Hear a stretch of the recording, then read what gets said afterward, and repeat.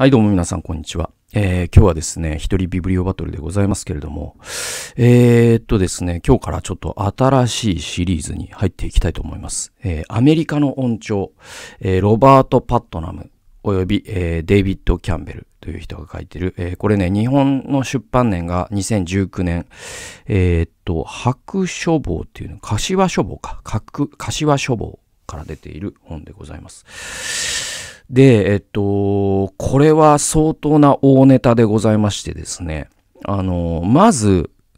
あの、何を言え、え、っと、言うとくべきことは、このロバート・パットナムという人、そのアメリカの社会学者のもう超大御所中の大御所でございましてですね、まあ知ってる人は知ってる、えっ、と、孤独なボーリングというもうめちゃくちゃ有名な本がございます。まあこれの著者でございます。で、えっ、と、孤独なボーリングも僕は、えっ、と、数年前に読んでるんですけども、まあすごい面白いんですよ。で、あの、まあ現代社会が、その、いろんな中間共同体っていうものが解体されて、まあ日本だったら町内会とか、あと会社共同体ね、社員旅行とかそういうものがなくなる。で、えー、アメリカもそうなんですよ。すごい個人化が進んでるんですよね。で、その中間共同体がなくなることで社会がバラバラになり、その、えっと、それを象徴するものとして、孤独なボーリングでパットナムが挙げてるのが、全米ボーリング協会っていうのがあるんです、あるんですって。で、それがいかに機能しなくなっていったかっていうことを象徴的に扱うことで、今のアメリカの社会がどれだけこのまあ、社会学の言葉で個人がアトム化してバラバラバラバラになった時代って言われるんですけど、その個人のアトム化が、えー、アメリカでいかに進行中であるかっていうことを分析した、もう本当に、えー、っと、金字塔となる、社会学の金字塔となるようなすごい体調があるんですよ。で、それってなんだろう、もう本当に孤独なボーリング多分だけどその論文の引用回数みたいな指標で言うともうえげつないぐらいいろんな本に引用されすぎてて多分聞いたことそれで聞いたことある人多いと思うんですね。でこのロバート・パットナムが、えっと、最近書いた、えっと、だから、えっと、この21世紀に書いてえー、入ってから書いた2冊の本があって、それがアメリカの音調と、もう一つが、えっ、ー、と、なんだっけ、私たちの子供かな？この2冊なんですけど、僕、私たちの子供まだ読めてないんですけど、このアメリカの音調もすごく気になってて、で、去年かな、えー、の、えー、春に僕、これ読んだんですよ、図書館で借りて。で、まあ面白かったんですね。600ページ超えます。ハードカバーの大著です。多分買ったら5000円以上するんじゃないかな。で、なんだろうな。本当にこう、こういう本の、こういうね、大著の中のいい本ってすごい特徴があって、なんか全部この600ページを読破した時に、なんか、その、長いトンネルを走らされているような気分がするんですよ。読んでる間は。だけど、読み終わって最後のページを閉じた時に、あれ？世界の見え方が変わってるぞ。っていうような体験をする。これがまあ、こういったね、ハードカバーの600ページの大著の、なんか、すごい僕はいい本の特徴だと思ってて。で、このアメリカの音調も本当にそういう本だったんですよ。で、実際ちょっと読むのは大変だったです。ちょっと、とあの、文章がすごく難しいっていうよりも、長いから。で、だけど読んでよかったです。で、えっと、結局その、現代のアメリカ、ね、まあ、アメリカの現代って言った方がいいのかな？アメリカの現代に対する見通しがすごく良くなったんですよ。なんかちょっと霧が晴れたような。まあ、そういう本でございまして。で、まあ、あの、タイトルからもちょっと想像つくように、あの、アメリカの音調ってこう宗教に、アメリカ人の宗教観ですね。アメリカ人が宗教とどういう距離をとってきたのか。そしてこれ今どういう風潮にあるのかということを、まあ600ページかけて、もうとにかくこの人は一次資料を当たるんですね。で、それは、あの、ギャラップ社とかのもう何十年分の資料、もう多分もうファイルにしたらちょっと部屋が一つ埋まるぐらいとかじゃないですか。そういうのを緻密に読み込んで、えー、そして何が起きてるのかというのを分析していくという手法を取る人ですね。はい。じゃあ、ちょっと早速引用に入っていきましょう。はい。まず最初、27から28ページです。えー これ導入部分なんですけども、以下のページで登場することになる重要な問いは以下になる。えー、っと、うんうんうん。はんはんはん。なるほど、なるほど。これちょっと僕の変換間違いで。はんはんはん。これね、一体、えー、っとね、ある人の宗教のフレーバーと強さのどちらの方がより重要なのだろうか。すいません。ちょっと、あの、僕がちょっと変換間違いしてて。えー、以下のページで登場することになる重要な問いは以下になる。えー、っと、ある人の宗教のフレーバーと強さのどちらの方がより重要なのだろうか。経験なカトリックと共有するものが多いのは、例えば、教会を離れたカトリックなのか、それとも経験なユダヤ教徒の方なのだろうか。その答えは様々なになるのはもちろんだが、いくつかの点において強さの方が実際にはフレーバーよりも重要であるということをこれから見ていく。その意味で宗教性そのものが過去特定の教派や宗教系統のメンバーであるということとは別々、個別に過去閉じる。現代アメリカでますます重要になってくる、なっているということがわかる。うんとね。えっと、まあ、この600ページの対処の中で、えっと、主にその調査対象になっている宗教っていうのがあって、えっと、プロテスタントのリベラル、まあ、主流派ですね。プロテスタント保守、まあ、あの、福音派ですね。えー、それからあと、カリスマペンテコステも一ジャンルとしてなってたかもしれないです。で、えっと、モルモン教、えー、で、ユダヤ教、で、カトリック、で、えっと、イスラム、で、えっと、仏教。で、その他信仰宗教みたいな感じだったかな。確かそんな分類でよかったと思うんですけど。で、それぐらいの分類をした上で、それがどういうふうに数的、数値的に推移してきたか。また、それぞれの信徒の人たちが、こう、社会というものをどう見ているのか、仕事というものをどう見ているのか、結婚というものをどう見ているのか、政治に関してはどうかっていうことを、まあ、分析していくんです。そうすると膨大な分析が必要になってくるんですけど、それをやっ、やりのけるのが、まあ、パットナムなんですよね。で、そうするとね、色、浮き上がってくるいくつかのすごく重要なものがあって、で、一番重要なものは一番最後に出てくるんですけど、えっと、最初の重要なものっていうのは何かというと、ある人がどんな人であるかっていうのを知る上で、ね。その人の宗教のフレーバーっていうのは、つまりカトリックかプロテスタントかっていう違い。カトリックかユダヤ人かっていう違いですね。だから、その人の信じてる宗教の内容っていうか、どの宗教を信じているのかっていうのがフレーバーです。で、えっと、そのフレーバーの強さっていうのは、その人がどれぐらい信心深いかってことです。そうすると、その二つの軸ができるわけですよね。つの軸にはどの宗教かっていう軸ができて、もう一つの軸には その信仰の強さがどれぐらいかっていう強さ、フレーバーの強さっていうのができるわけですよ。で、そうすると、ある人が、その人間関係とか、その人の心持ちとか、生活スタイルとか、あと、こう、政治をどう考えることかとか、まあ、まさにその人が持ってる世界観と言ってもいいんだけど、その人の人生、あり方、キャラクターっていうのは、えっ、と、宗教によって影響されてるとしたら、どういう影響のされ方をするんだろう？カトリックとユダ、その人がカトリックなのか、あるいはユダヤ教徒なのかによって影響されるのか。それとも、その人のフレーバーによって影響されるのか、それともフレーバーの強さによって影響されるのかってことですよ。で、もう結論先に言うと、強さの方が重要なんですよね。これはその社会学の調査の指標で言ってて、あの、パえっと、パトナムの主観で言ってるんじゃないんですよ。これ、調査の指標を比べると、あの、どういう相相関とかで、あの、調べるんだけど、あの、回帰分析っていうのをしてね。で、そうするとそうなるんですって。で、それ何かっていうと、あの、結局、経験なカトリックっていうのは、教会を離れたカトリックよりも、経験なユダヤ教徒に似てるんですよ。って意味わかります？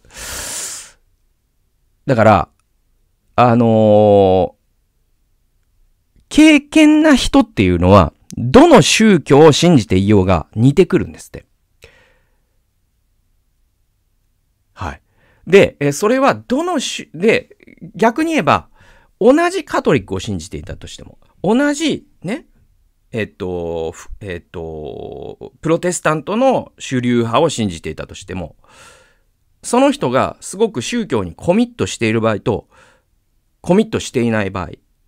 つまりもう教会離れちゃった場合で言うと、全然似てない、話が合わない人になっちゃうんですって。ところが、コミットしているカトリックとコミットしているプロテスタントだと話が合う人になるんですって。これちょっとすごい面白いですよね。そうすると、どの、要は、どの宗教を信じてるのかっていうのは、別な言葉で、えっと、宗教的であるかどうかっていう言葉になると思うんですよ。でも、その宗教の強さがどうかっていうのは別な言葉で宗教性あるいは霊性、スピリチャリティっていう、言えると思うんですよ。そうすると現代のアメリカではスピリチャリティの方がどれほどその人が宗教的か、どれほど派閥的かっていう言い換えてもいいですね。えー、そういっそ、そっちの指標よりも、その人の霊性みたいなものの方が重要なんじゃないの？重要になってきてる。それが現代のアメリカなんじゃないの？っていうのが一つ目の大事なテーマになってきます。えー、次行きましょう。はい。で、ちょっとこの本長すぎるんで、すごくその話題としては追うのが難しいっていうか、全部をその議論を追うことはできません。だけど、僕がここは面白いなと思ったところを、えー、結構ピックアップしてるので、まあそこをつまみながら、ちょっとあの議論を、大きな議論のところはちょっと皆さんに保管してもらいながら、あの理解していただくっていう形になるんですけど、ちょっと体系的に説明するのは僕の手に余るんでね。で、えっ、ー、とですね、すごい重要な話題が最初に最初の方に出てきます。それが、60年度、60年代、1960年代と、えー、1980年代、そして90年代、えー、ここで、この3回、その、激震が走ったっていう風にパットナムは表現してるんです。で、その激震っていうのは何かというと、人々が宗教を見限るっていう今に至る流れっていうのがあるんです。で、まあ、あの、一つの、あの、大前提として、今、アメリカ人って、アメリカってですね、あの、先進国の大国の中ですごく例外的に宗教的な国なんですよ。で、これほど、その、先進国の大国で宗教的な国って多分アメリカだけなんですね。アメリカ以外に、まあ、韓国もある種そうかもしれないけど、でもアメリカほどではないですね。で、まあ、あの、ちょっとインドも入れちゃうと、多分インドとアメリカっていうのが、えっと、大国の中ですごく宗教的な国って大別されるんですよ。だからアメリカって実は例外で参考にしちゃダメなんですよね、実はね。先進国で並べると、基本的には世俗的な国の方が多いっていうか、あの、そう、そういう国ばっかりなんですよ。アメリカは非常に例外的な国です。で、そのアメリカが今非宗教化してるっていうのが、あまあ、いろんな、まあ、調査とかで明らかになってきてて、つまり人々がもはや神を信じなくなってきてるんですよ、アメリカでは。じゃあそれってどういうふうに歴史的に見ると何が起きたからこういうことになったかってことをパットナムは分析していきます。で、それが60年代、もう一つが80年代、そして90年代。で、この3つの時代に若者たちがそれぞれ生まれ年が違うんですけど、えー、60年代だと段階の世代です。で、80年代だと、えっ、とね、だからベ、60年代はベビーブーマーね。で、えっと、80年代が、えっと、その子供たちの、えっと、ブーマンチ、ブーマーチルドレンっていうのかな。だから段階ジュニアですね。日本でいうところの。で、80年代がいるんですよ。で、90年代っていうのは日本でいうと、えっと、ロストジェネレーションとか、ロスジェネみたいな世代なんですね。で、この人たちが若い時に、それぞれ脱宗教化を経験してるっていうんですよ。で、ちょっと長いんですけど、引用しますね。えー、134から135ページです。要するに、1990年代以降に成人に達したアメリカ人は、数年しか年長でない世代と比べて際立って同性愛とマリファナについてリベラルなものの見方を有していた。何かが原因となってこの若い世代はこれらの道徳問題についてよりリベラルになったが、これとまさに同じ若者たちがますます組織宗教を拒否するようになり、新たななしの大きな部分を形成したのである。このなしっていうのは何かというと、さっき言ったその7つぐらいのね、大別したじゃないですか、その、えっと、しゅね、あの、アメリカの宗教ね、ユダヤ教とか、あとね、黒人プロテスタントっていうのも確かありました。で、えっと、その7つぐらいに大別した。で、最後の8つ目が、新宗教の、新興宗教の次に来るな、な、やつ目がなしっていうボリ部分なんですよ。で、なしっていうのは特定しの信仰する宗教がないっていうことだから、つまり、えー、世俗化ってことで、これは、あのー、アメリカ以外の先進国ではこれが大部分なんですよ。あ日本もそうですし、えー、フランスとかでもそうですし、イギリスも多分そうですね。で、このなしっていうボリュームがアメリカはもうとにかく一貫して増え続けてるんですね。で、このなし層が、90年代にものすごく増えたよと。で、さらに2006年と2007年に行われた我々の面接の間に宗教参加を減らした個人、えー、これなし、かっこ何かではなく、えー、になり、えー、か、えー、つまりなし、何か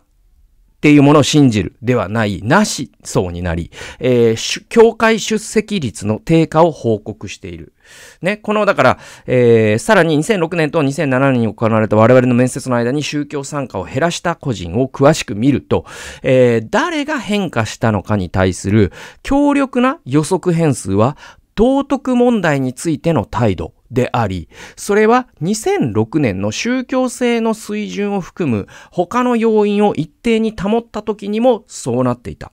ちょっと社会学の分析の難しい言葉が続くんで、ちょっと我慢して聞いてほしいんですけど、えー、最後までちょっと読んでいきますね。性道徳についてのリベラルなものの見方が、えー、宗教からの離反に貢献しているということについて、このパターンは、ある程度の補足的な証拠を提供している。だから、まあその、面あのー、なんだ、ギャラップ社の調査に加えて、独自の面接も加えてるんですよ、この、えっ、ー、と、パットナムは。より緻密な調査をするために。で、そうするとね、その、2006年と7年の、調査で、えー、分かってきたことが、その、ある人が、教会出席、それはその宗派は何でもいいんですよ。で、ある人が、その、教会の礼拝ね、に、えー、まあ、イスラムだったら、だから、そういうモスクの礼拝とかになるし、えっ、ー、と、ユダヤ教だったら、そういう安息日の礼拝になるんだけど、えっ、ー、と、そういう礼拝にとにかく宗教への関与を減らした人っていう群を取ると、それと相関するいろんな予測変数っていうのが出てくるわけですよ。で、それはなんか友達との関係とか、大学に入学したとか、就職したとか、えー、あとはその所得とかね、で、親の宗教とか、いろんな予測変数があるんだけど、それっていうのはほとんど相関関係がない。えー、一番強力な予測変数は何だったかというと、その人の、ね、えっ、ー、と、性道徳に関するリベラルなものの見方っていうのが、えー、脱宗教化と相関関係があるってことが分かった。まあ、ここで、その同性愛とマリファナについて寛容な見方をする人であればあるほど、教会への関与を減らしていったっていうんですよ。で、ここで、ちょっとこれ社会学の人っていうか、まあその、ね、社会科学をする人はわかるけど、ちょっと結論を急いじゃダメなんですよ。えっと、相関関係は因果関係をえっ、と、意味しないっていう、まあ、社、えっ、と、社会学を分析するときに、もう大前提となる知っておかなきゃない、えー、いい原則があって、これ相関関係であって、因果関係ではないんですよ。因、だから、相関関係があるからといって、因果関係が、えっと、証明されたと思うのは急ぎ足で、社会学者としては失格なんです。つまり、えっと、ある人が同性愛に寛容になれば、それが原因となって、教会から身を引くって考えるのはまだ証拠不十分なんですよ。で、ここでもつ、まあその議論がまさに続くんだけど、続き読んでいきますね。我々はここで因果について強い主張は行わないし、また組織宗教へのこの世代のつながりを弱める、弱めたのは単純に公共政策をめぐる際であるとは信じていない。むしろ我々が示唆するのはある種の道徳、ライフスタイル問題についてますますリベラルになっていく。かっこが宗教的感情や理想は受け入れる可能性がまだある。かっこ閉じる。こういった若い層と同性アイコンに対する政治的闘争で頭がいっぱいになっていると彼らには見える宗教指導者の、えー、いる古い世代の間の劇的なコントラストが第二の余震の重要な源の一つとなっていた。ということである。これ第二の余震というのが90年代以降の話です。で、えっと、で、話をちょっとですね、時間を巻き戻します。で、ここまで見てきたように、えー、1990年代を通じて、えー、アメリカ人はすべての世代で宗教と政治の混合にますます不安を抱くようになっていた。宗教的つながりはそれまで形成していた若いアメリカ人が、その不安を宗教の完全な拒否へと変換したのは驚くべきことではない。この若者の集団は、格好付きの宗教が、えー世間で宗教右派と認識された時点で成人を迎えたが、それはまさしくそのような運動の指導者たちが同性愛と同性アイコンをその議論、議題の筆頭に挙げた時であった。なおかつこの世代は同性愛に対する新たな寛容が最も急速に成長したまさにその世代である。すなわちアメリカ人の最若年コホートがある方向に向かった時に非常に目立つ宗教指導者の多くは、多くは反対の方向に向かったのである。はい。で、これらのパターンを踏まえると、宗教と公共生活に関するピューフォーラムがなしの大規模の全国サンプルに宗教貴族を拒否した理由を尋ねたとき、その理由が神学的あるいは科学的なものでなかったことは全く驚くべきことではない。その代わりの新たななしが報告したのは、彼らが所属したくな、えー、しなくなったのは、少なくとも部分的な理由としては、彼らが宗教的な人を偽善的で、一方的に善悪の判断をし、不誠実であると思うからであった。また多数の人間は所属しなかった理由を宗教組織がルールに焦点を当てすぎて、えー、スピリチャリティに対しては十分ではないと思うからと述べていた。えー、図4の9に掲載されている政治やえー、政府への宗教的態度に対する反対の増加が新たななしに大きく集中していることもまた驚くべきことではない。というところが、まあ、今日の、えーと、2つ目の引用で、今日はこの引用で終わりたいと思うんですけど、ちょっとめちゃくちゃ長いし、ちょっと言い回しが難しかったから、ちょっと僕なりにリフレーズしながら、えー、そしてちょっとあの、保管するべき部分は、あの、ちょっと記憶をもとに、あの、保管しながら、何をここでパットナムが言おうとしているか、ちょっとざっくり説明しますね。で、この、えっと、3回地震が、激震が走ったって言いましたね。で、最初の本震、これを本震というふうに、だから本震と余震があるって言うんですよ。で、本震が60年代なんですね。で、えっと、80年代が、えっと、余震なんです。90年代も、えー、余震なんですよ。で、どういう話かっていうと、まず、本震っていうのは何かっていうと、60年代のカウンターカルチャーです。で、えっと、だから、セックスドラッグとか、あの、だから、フラワーピープルとかね、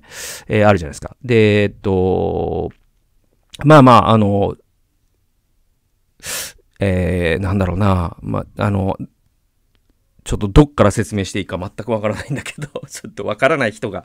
あの、いるという前提で話すのが難しい話なんだけど、あの、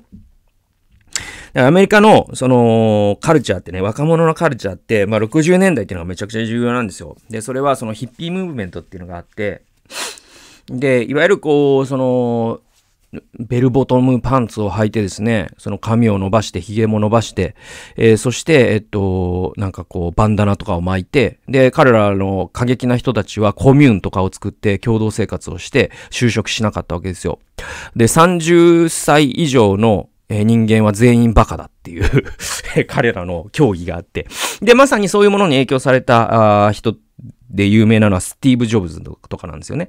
で、これってカウンターカルチャーで、まさにその、大人っていうのはバカだから、で、あいつらはその体制に従うことしかできないと。で、我々の世代から本当に世界変えてやるぜ、みたいな。で、その流れっていうのが、まあ日本だと学生運動みたいな形でも、ちょっとその波が来るんだけど、で、彼らのもう一つの、その、あれが脱宗教化なんですよ。で、えっと、大人はなんか、えっとね、まあアメリカだと日曜日に礼拝するって言ったら、まあ保守的な州とかだとネクタイを、シャツを着てネクタイをはめて、で、そのクリスチャンっていうのはやっぱり貧困法制、まさにピューリタニズムで、もうちょっと男の人だったらちょっともう、あの、刈り上げ七三分けがデフォルト。ね。で、髪伸ばしてるやつなんてもう許せないみたいな。で、ロックなんてありえないし。で、映画館とか近づいちゃいけませんみたいな。で、もうお酒も飲まないし、タバコも吸わないし、みたいな。で、そういう厳格な自分たちの親世代がいて、で、その親世代に対して反旗を翻したのが、まあ、カウンターカルチャーなんで。